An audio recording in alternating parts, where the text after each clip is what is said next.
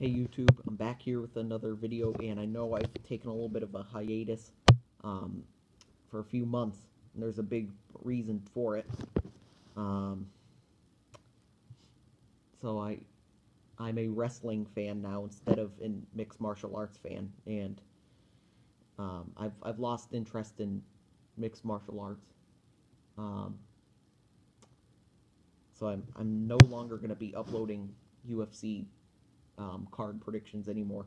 I apologize for inconvenience of anybody who is watching me for that reason.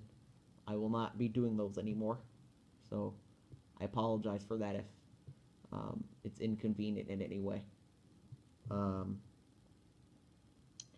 this is I know this is sort of a different video, but that's like uh, the point of this, and and you know losing interest in MMA. Like I I haven't watched MMA since like March, so um, so I I really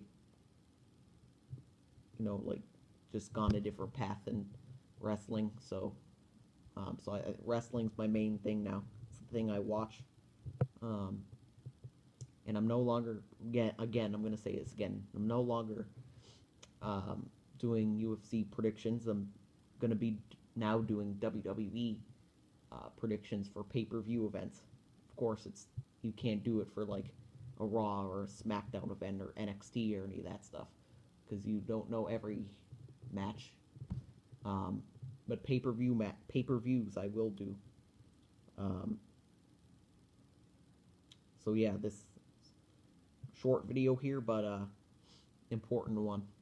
So this there's this is the major um, update to my channel, and this is how it'll be in the future. It'll be a WWE uh, related channel. It will no longer be a UFC related channel.